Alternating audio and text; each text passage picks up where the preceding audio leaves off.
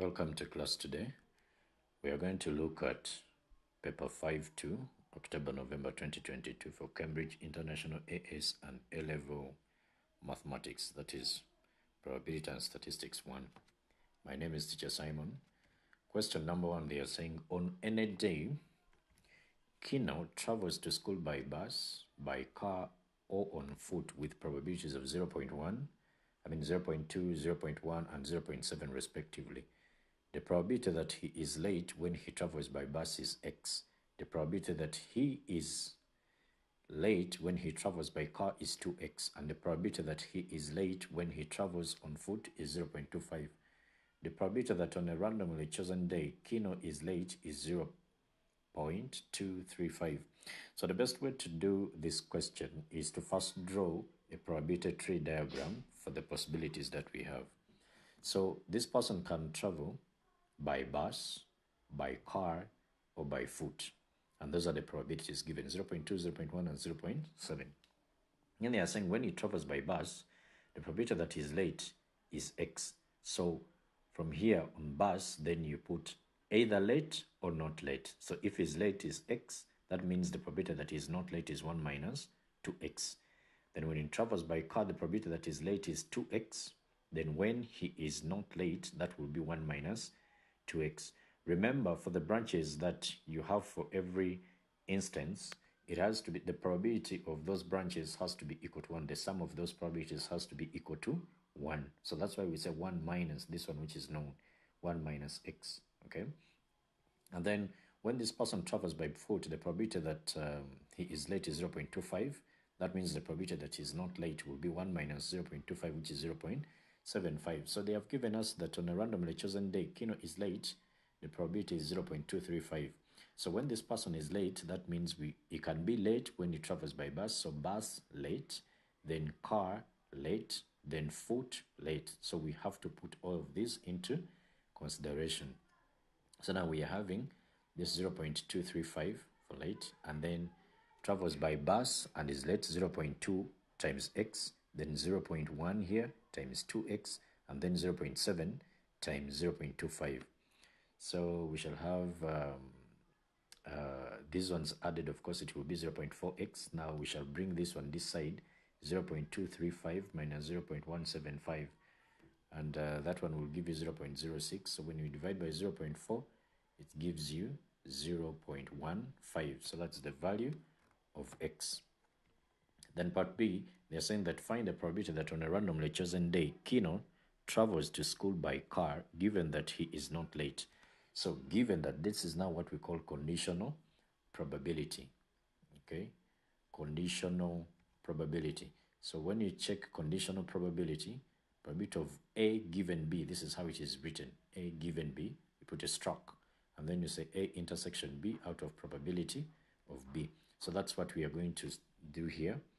Car, given that he is not late. So down here we shall have probability of uh, this person not being late and then C intersection L prime. So C intersection L prime is here. C L prime. And uh, we know that the probability of something occurring plus the probability of it not occurring will always give you 1. So if they give us the probability of Kino being late is 0.235, that means the probability that he is not late will be 1 minus that probability of him being late. So we have uh, C intersection L. Probability of C, here we saw it as 0.1 and then not being late here. So it will be 1 minus 2 times x, which x is 0.15. So we shall put 1 minus 2 times 0.15. And uh, then we divide 1 minus 0.235. So up here, uh, we shall get, if you check uh, 1 minus 2 times 0, point, um, 0 0.15, I think that's a 0 0.3. So minus that, it will, give, it will give you 0 0.7. But then that one, you will multiply it by 0 0.1. So it gives you uh, 0 0.07, you see? 0 0.07, which you're having up here.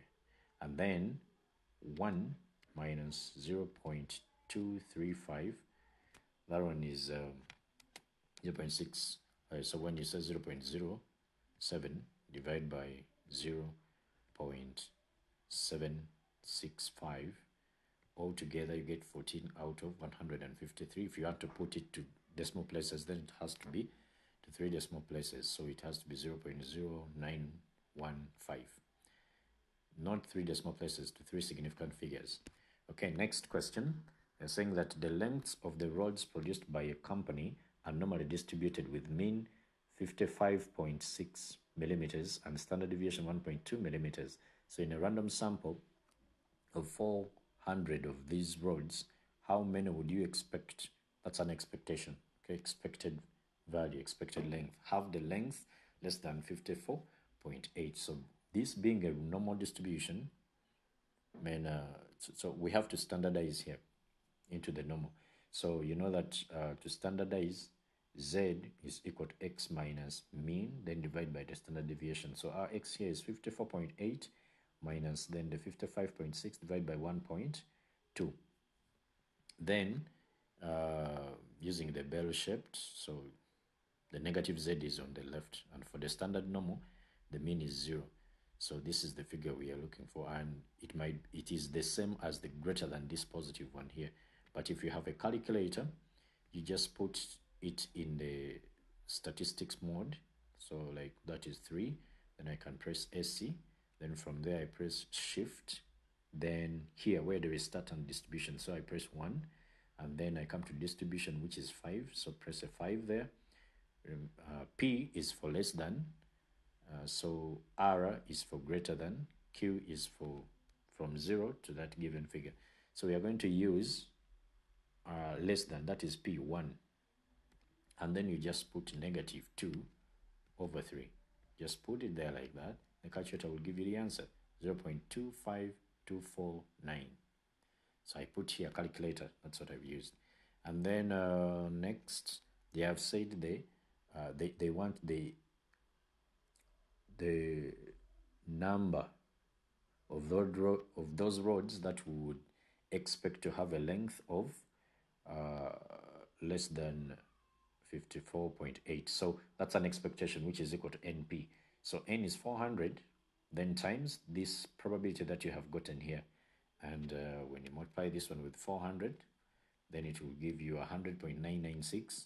So uh, you can either write 100 or 109 because you will not have a road that is 0.9. you know, so all it together, like some part of it. So either you're going to have 100 or 101 and then uh, we said that find the probability that a randomly chosen road produced by this company has a length that is within half a standard deviation of the mean. This is what it means. You get the modulus of the x then minus the mean, then less than a half of the standard deviation, 0.5 standard deviation.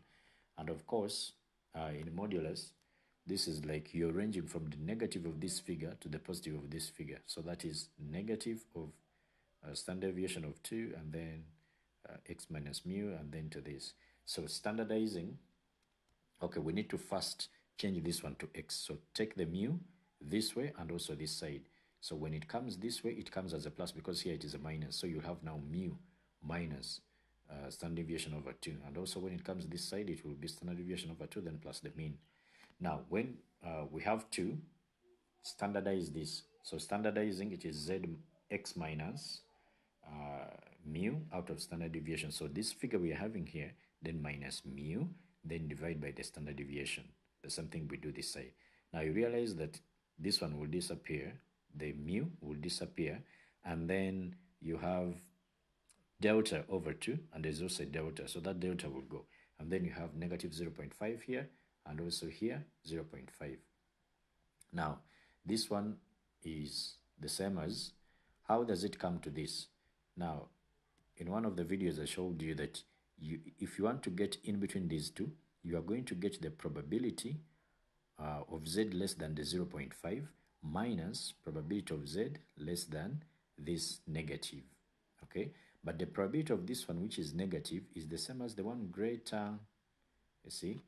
So if it is the same as the one which is greater, we can have something like this probability of z less than the 0 0.5 then minus probability of z less than the negative 0 0.5 but still uh, this one is the same as 1 it's like 1 minus because less than the negative is the same as greater than the positive this way. So it has to be 1 minus mm, mm, probability of z less than okay 0 0.5 because if you have for the less than I mean for the greater than you have something this way to get the probability here you have to get the whole total which is 1 then minus this less than okay? So that's what I've put here. Now when you open the brackets the minus and the minus will make this one positive. You see that? So you have probability of z less than 0.5 then plus probability of z less than 0.5 so you get it as a 2 here then minus the 1 here. And then so so long as you have your uh, this value if you have this value the same as the one which is here just say twice of this minus 1 okay twice of probability of z less than that like that 0 0.5 and then from there you put uh, minus 1 but remember since we are having our calculator here let us just put this thing inside here. Remember it is for less than.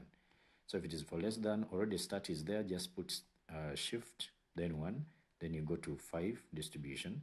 Remember it is p for less than. So we put 1 and this is 0 0.5 you see that? Then um, we can subtract. You can even just put it right away there. Uh, again press shift then 1 then 5 then uh, 1 and then you put negative 0 0.5 see? And then all together it will give you the answer 0 0.38292 that is the one there. Also I can have uh, already we have gotten this one here. So twice of it we can put twice of that then minus a 1 it can also give you the same answer so our answer then becomes 0 0.383 next they are saying number three uh, that three fair six-sided dice each with faces marked 1 to 6 are thrown at the same time repeatedly. So the score on each throw is the sum of the numbers on the uppermost faces. And since this experiment is done repeatedly, so it is either a binomial or a geometric. But then you get to know whether it is a binomial or a geometric based on the number of times the experiment is done. Is it fixed? Then it is a binomial. If it's not fixed, then it is uh, a geometric. Now, part A, they are saying find the probability that a score of 17 or more is first obtained on the sixth throw. So that you don't know the number of times the experiment is done. Okay, it's not fixed, but they have told you that uh, what we are interested in is obtained on the is obtained the first time on the sixth throw. Maybe we did the experiment 20 times, but this one happened on the sixth throw, you don't know. So therefore, this one uh, is a geometric distribution. Find the probability that a score of 17, remember we are adding them. So if there are 3, for you to get 17, that means you have 6, 6, and 5. So on the first one, you get a 6. On the second one, a 6. Then on the last one, a 5. Or you can get a 6 on the first one, 5 on the second one, a 6 on the third one. Or you can get a 5 on the first one, 6 on the second one, and this on the third. So if you first get the, uh, this one here, 6, 6, 5, then move until 5 comes to the beginning part. So as simple as that. Probability of getting a 6, and here is 1 over 6. So that's 1 over 6 times 1 over 6 times 1 over 6, even for the 5. And all of this together is 3 out of 216. So that's when you are getting 17. If they say 17 or more, the maximum we can get for more is going to be 18 for these three dice. So you have 6 and a 6 and a 6. You see? So that one becomes 1 over 216. So if they say uh, the probability that a score of 17 or more, then we have to put these two together. So probability of 17 or more is now going to give us our P because for the geometric still we have to get what we call the probability of getting the success and then uh, the failure. So if we don't get a sum of 17 or more, then it is a failure. So our P is going to be the sum of these two. So that is 4 out of 216 or simplified it is 1 out of 54. So that means Q will be 1 minus that which is 53 out of 54. Remember I told you this is a geometric distribution because you don't know the number of times this experiment is done but what you are interested in uh, goes through just after the after the sixth row. So we take this as a geometric distribution. And for the geometric distribution, if we have probability of x is equal to r, then that means if okay, if it happens on the third throw, that means the first two, the, the, the, the, you, you are failing. You get it? So here you are having if probability of x is equal to r, then that means we shall get this is q power r minus 1 and then p. So coming back to our question here, it happens on the sixth row. That means the first five times you're failing. So q power 5 then times p power 1. So you have your q, which is 53 over 54. You power it with a 5, then times the p here, power 1. You have 1 out of 54. And you are going to have, so you can put this one um, in a calculator. Okay, let me first remove this uh, because it might affect. Okay, let me take it back to the normal mode. So we have 54, I mean 53 out of 54. Then this one, uh, sorry, it is to the power of 5. And then we shall multiply it with 1 out of 54. So you have 1 out of 54. And then, uh, of course, this one is to the power of 1. So your answer becomes 0 0.0168 and the rest of those figures. But to three significant figures, it becomes 0 0.169. Then part B, they say that find the probability that a score of 17 or more is obtained in fewer than 8 throws. So if they say in fewer than 8 throws, that means you can obtain it on the first or on the second. That means the first you fail, you get it on the second. Then the first two you fail, then you get it on the third. The first three you fail on the fourth, on the fifth, on the sixth, and on the seventh. So you are supposed to put all of these together. Hmm? You are supposed to get this one here, then this one. Remember, it is beginning from this way. Hmm? You take this, you add that, you add this, you add that, add this. So when I tick here, it means that I'm coming from this other side, eh? like that up to there. So all of those put together, you realize it. You realize that it is only this part here, only failures that is left out. You get it? And total probability is always what? 1. So instead of considering p, then plus qp, plus q squared p, plus q cubed p, and the rest of those, I will just say 1 minus fading these 7 times. So I will say 1 minus q power 7. And our q is 53 over 54. And then I power that to 7. And then we get our answer as uh, 0 point. Proving that, let me just try to take this one back here. And it has to be to power 7. Then we say 1 1 minus that. So it is 0 0.122 and the rest of that and the three significant figures the answer becomes 0 0.123 next this one is about statistics. They are saying that the times taken in minutes to complete a word processing task by 250 employees at a particular company are summarized in the table. So the table is here and then they are saying that draw a histogram so before you draw a histogram, first check whether the class intervals are the same. But of course, for A level, the class the class widths, not intervals, the class widths are the same. So if they are the same, that means you're going to plot frequency against class boundaries. But in A level, they rarely do that. So they give you classes with widths which are not the same. Like here, 0 to 20. So the class width here is 20. Here it is 20. Here it is 10. 10. Then here it is 40. You see that? So we have to plot, when we are plotting our histogram, we have to plot frequency density against the class uh, boundaries. So, and um, to get the, the frequency density, you get frequency divided by the class widths. So the frequency here is 32 divided by 20, that's 1.6. Then here it is 46 divided by the class width here 20, you get 2.3. Then 9.6 divided by 10. Then here 5.2 divided by 10. And then here 24 divided by 40. And then we can draw on our graph. Remember to use uniform scales. Now, the good thing about such uh, about such intervals is that you don't have to add a 0.5 on the upper classes, on the upper class limit, and subtract a 0.5 on the lower class limit, so long as you have these less than or equal to like that. So those are the classes, okay? Because the end point here has to be the beginning part here. So it is already continuous. So what we need to do uh, is to write, you don't, when you are writing down uh, here on this axis, the t-axis, you don't write these values that you're having here that is 0 20 then maybe like like you put 20 here then 40 then you put 50 60 no choose a uniform scale like i i chose here every after one centimeter i put 10 units so 10 10 10 10 10 10 everywhere then i begin to plot so from i mean it is from 0 to 20 that is uh, 1.6 so 0 to 20, that's 1.6. So when you look at this, the figures that I used here, every one unit, uh, one unit, that's for a centimeter.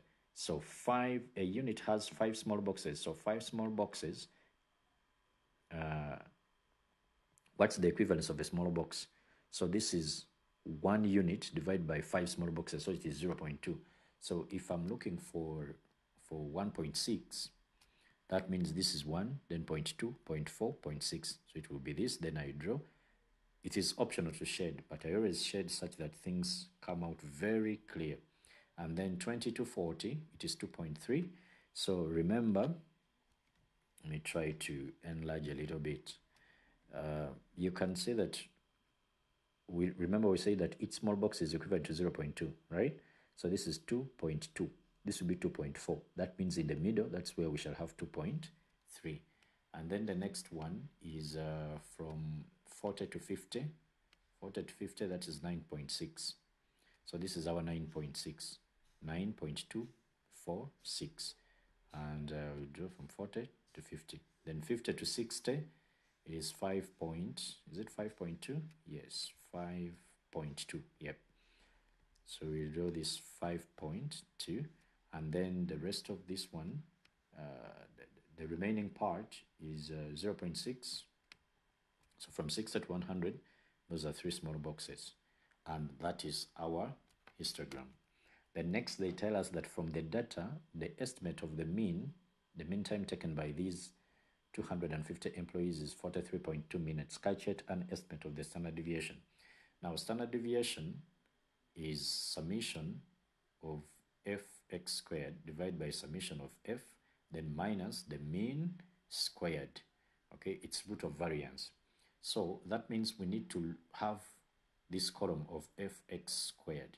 Already mean is given so because this is grouped data our x is the mid value okay the mid value so like this is 0 plus 20 that's 20 divided by 2 then you get the 10 then here 20 plus 40, that is 30, I mean uh, 60 divided by 230. Then here the mid is 45, and then here it is 55, and then here 160 divided by 2, that is 80. So we then we need fx squared. So that means we shall square the x, then after we multiply by the f. So when you square here, that is 100, then times the 32. Then when you square this one, uh, 900, then times the 46, okay? So, and then 45 squared, then times 96. You see, you have 194, 400. Then we have 55 squared, then uh, times 52. see 157,300 and then 80 squared and then times 24 that one gives you 153,600 then we add all of these together and when we add them like I can show one uh, that answer them plus 157 300 then plus 194 400 then plus 41 400 then plus 3200 and your answer is going to be 549,900 okay? Then that one we shall divide by the summation of f. Of course that one represents the number of uh, these employees. It's already here 250 but still you can add up the frequencies and then you get that answer still which is 200 and what? And 50 so that answer we have gotten if we divide it by 250 we get uh, that figure 2199.6 then we can subtract uh, 43.2 when it is squared. And then the figure you get you can take the square root of that. And then it will give you 18.258 and the rest of those the three significant figures the answer becomes 18.3 next one is about probabilities so they are saying eric has three coins one of the coins is fair that means the probability of getting a head is is a half and also the probability of getting a tail is a half then they are saying the two other coins are each biased so that the probability of obtaining a head is a quarter. That means the probability of getting a tail is three quarters. Okay. So Eric throws all three coins at the same time.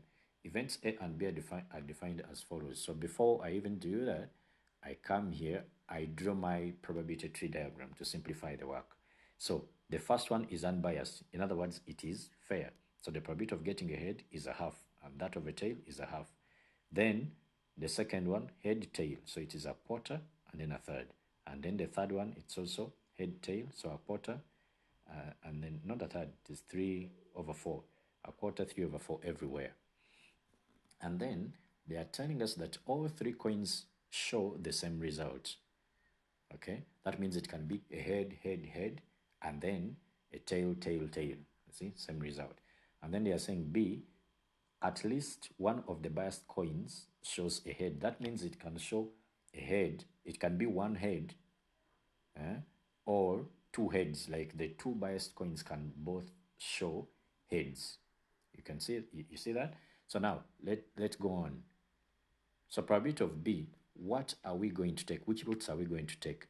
A head for the biased and then this. So we shall take this. But of course we have to begin from this side okay so there is that one then there is this one you see that but of course we are beginning from this way and then uh, we can also take this on a tail and then a head you see then we can also now tail tail we shall not take it then head head uh -huh. then there is also uh, a tail and a head but they are beginning from this way the experiment begins from this way now, do you realize that we have only left out this part and this part? Only those two. So instead of taking all of these routes, one, two, three, four, five, to waste time, you just say 1 minus the ones that are left because for them they are smaller. So that is head, tail, tail. That's what we are having here. So we have a half, then times 3 over 4, times 3 over 4. And then this other one is a half times uh, oh there is also this one by the way. Head tail. Is also there. So that's why we are left with only these ones. So a half then 3 over 4 3 over 4 so this one becomes uh, 16 over 9 so we say 1 minus not 16 over 9 sorry is 9 over 16 so 1 minus 9 over 16 then we get our answer as 7 over 16 see and then um, next part, they're saying that find the probability of A given B. Remember, probability of A given B is probability of A intersection B and then uh, over probability of B. But we need uh, to find probability of A intersection B. So A intersection B is when you're having, first of all, A, they are telling us that uh, all three coins show the same result. So if they show the same result, then it has to be head, head, head, or tail, tail, tail. You see that? But for B, if they're saying at least one of the biased coins shows a head, so the only way these ones can intersect, that is when uh, for B, all heads. You see that? So head, same result, head, head, head. And here, at least it shows a head. So there must not be any tail. So we shall have head, head, and head for probability of A intersection B. And head, head, head, you come here, head, head, and head, which is going to be a half times a quarter times a quarter, which gives us 1 over uh, 32. Yes, 1 over 32. And then probability of B, which we have gotten up here as 7 over 16.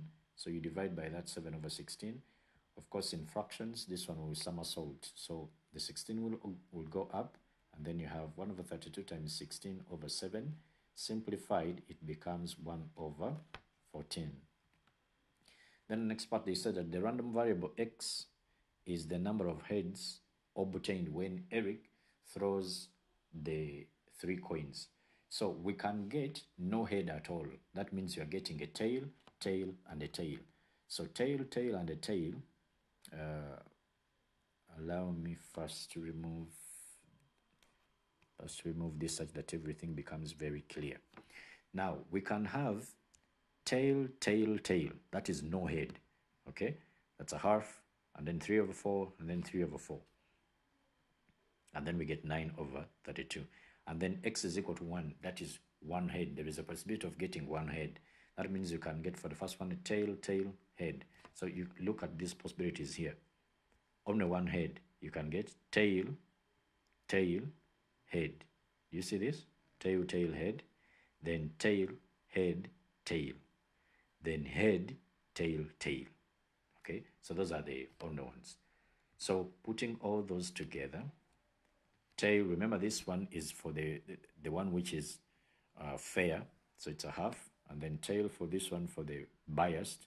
So the rest here, I made them to be for the biased. So 3 over 4, 1 over 4, then again a half, then 1 over 4, then 3 over 4, 1 over 2, then 3 over 4, 3 over 4. So all of it together, it gives us 15 out of 32. And then there is a possibility of getting two heads. So the first one gives a head, head, then a tail. Then head, tail, head.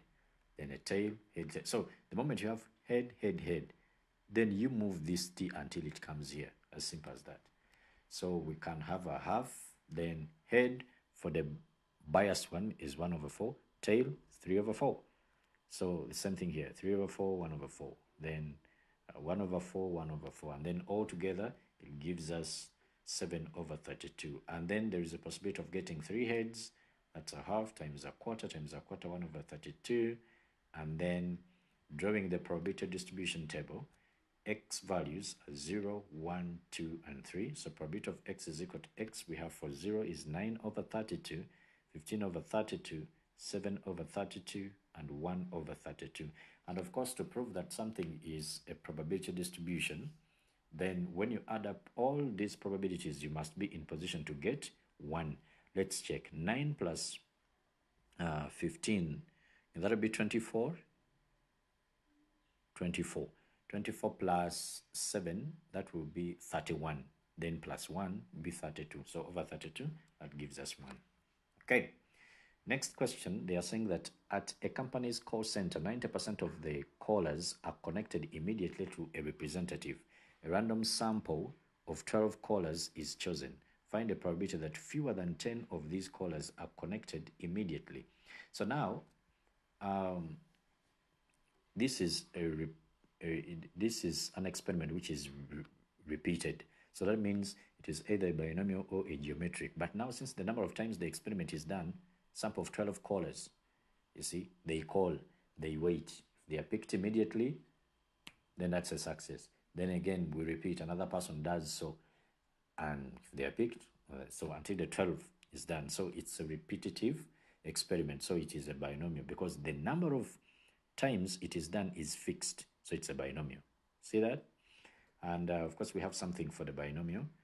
Say the conditions for the binomial are there has to be a fixed number of trials. You see that? Each trial must have the same two possible outcomes. Normally, a success and a failure. So the probability of getting a success, we always call it P, and for the failure is Q. And then, so the outcomes of the trials have to be independent of one another. So it continues on and on. The probability of the success remains, and that of the failure also remains.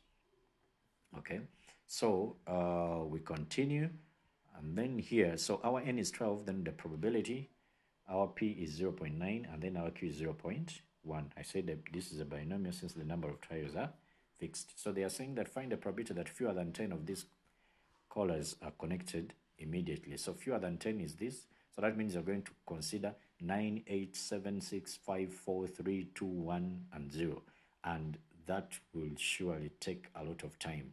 So instead, we can find this other extreme. And we say 1 minus. If 10 here is not included, then I will include it here. So from 10 and above. So we shall have 1 minus probability of x is equal to 10 plus probability of x is equal to 11 plus probability of x is equal to 12. And for binomials, probability of x is equal to x. We always do it like this. n probability of x is equal to r is n combination r, then p power r, then q, n minus r. So therefore, uh, if it is 10, then that will be 12 combination 10. Then our p is 0 0.9 power 10, and then our q is 0 0.1 power 2, and the rest of this when it is 11, 12 combination 11 0 0.9 power 11 and the rest of all of these. And these are the answers you get when you put in your calculator. When subtracted from 1 automatically you will get let me just prove one here. Uh, 12 combination that is shift then combination then this is 10 uh, and then from there we can say times. Then I can put this one here 0 0.9 it is power 10 and then uh, we also have 0 0.1 power 2 and then you will get 0 0.230 you get 0 0.230 and the rest of the all of this so when you add all of these together and you subtract from 1 you get your answer as 0 0.111 so part uh, part B, they are saying a random sample of 80 callers is chosen. Use an approximation to find the probability that more than 69 of these callers are connected immediately. So this random sample is really too big. When you check the NP, 80 times 0 0.9, that is 72, which is far greater than 5. And also NQ, that is 80, then times uh, 0 0.1, that is 8 greater than 5. So if you find that NP and NQ are greater than 5, then that implies that uh, we are supposed to approximate now the uh, number to the binomial. So we need to, but before we do that, of course, the mean for the binomial is NP. So you have to get the mean because for standard deviation, I mean for normal distributions, you have to use uh, mean and then the standard deviation. So when you get 80 times 0 0.9, you get 72 and then standard deviation is root of variance and variance is given by npq so 80 times 0 0.9 then times 0.1 inside here you get 0 point, i mean 7.2 so you have to get the square root of uh, 7.2 but this one is not exact so you can leave it out. Now when we are approximating from the binomial to a normal now we are moving from discrete to continuous data. So we need to carry out what we call continuity correction. So greater than, if they say that we are finding the probability of x greater than 69, that means that we are going to carry out this continuity correction. This is how you do it. Let's look at a number 69 they have told us. So if you have 69 here, the number next to it is going to be 70. See? And then the number before it is going to be 68. Now we see that 69 uh, ceases to be 69 at 69.5 because when you round off 69.5, you will get a 70. And also here, 69 begins to be that 69 at 68.5 because when you round off the 65, I mean the 68.5, you get the 69. So this is the what this is what we call the lower bound is 68.5 and then the upper bound is uh, 69.5 now when we say greater than 69 so you have to look at that figure that when you round it off it is never 69 like it goes beyond 69 you get it is greater than 69 so when we round off this 68.5 it will give us 69 but when we round off this 69.5 it will give us a 70 so that is greater than 69 so that means instead of taking this 69 we shall take the 69.5 so we shall add a 0.5 when they use this greater than then from there uh, we standardize now remember z is got by getting x minus mu divided by the standard deviation so you put all of that now. We are just going to put all of this in the calculator and we say uh, 69.5. Actually, remember when we are putting in the calculator, the calculator has to be in SD mode. So you first put SD press mode and uh, okay, this one, we shall put statistics. So it has to be three and then you can press SC, then shift statistics and distribution is here on 1 and then distribution is 5 and of course this is for greater than so for greater than I said it is R so you put 3 and then from there uh, I can put this 69.5 okay? Subtract the mean 72 then you divide by root of 7.2 here. And then when you do that and we close then we shall get 0 0.82425 okay? So uh, to three significant figures it will be 0 0.824 and that will be the answer there okay then the, the last question they are saying that find the number of different arrangements of the nine letters in the word alligator in which the two A's are together and the two L's are together. Now, you can put these uh, spaces here for the letters like I've done here. One, two, three, four, five, six, seven, eight, nine. Now, if A's are together, that means that is one, uh, one group. And if the two L's are also together, that is one group. Okay? Then one, two, three, four, these are other five. So that means altogether you have 5 plus 1 plus 1, that is 7. So it is going to be 7 factorial. Okay, because these ones are identical, we shall not consider them being arranged in a line and they are identical. But I put this one in brackets here to show you that this is A. It can be, because they, it is in line here, it can be arranged in two factorial ways. Okay, two factorial. A can be here, this one here, and the other one here. Then they can switch. So two factorial. But still, since we are arranging them in a line, then we can divide by their factorial. Okay, so in permutations and combinations, we have, um, let me show you something here. The number of permutations of n objects of which p are identical to one another, q of the remainder are identical to one another, and so on. So this is how we do it, n factorial out of p factorial, q factorial. So these ones are identical, okay? Identical, q factorial. So we are also dividing by these two factorial because A's are identical, twos, I mean L's are also identical. So you may not even write this. So the moment you see these ones are identical, just write this 7 factorial and you get 50, 40. Next part, they tell us that the nine letters in the word alligator are arranged in a random order. Find the probability that the two L's are together and there are exactly six letters between the two A's. So I can put uh, my letters here. So I count six in between. One, two, three, four, five, six. And then that means here we are left with one because they are nine. Uh, these are six, then plus the two A's that are, uh, that means that one is eight, and then one here, so it becomes nine. Now, these are the letters that are remaining, I, G, T, O, R. If I put my A's and then the L's, remember the L's are supposed to be together. So you cannot put them outside here because this is one space. They will just be inside here. Okay. And then out of these uh, five letters, there are five ways of putting a letter here. I can put I, I can put G, I can put T, or R. So those are five ways. Okay. Then the rest of the letters, the four of them, I'll put here. I'll put them here.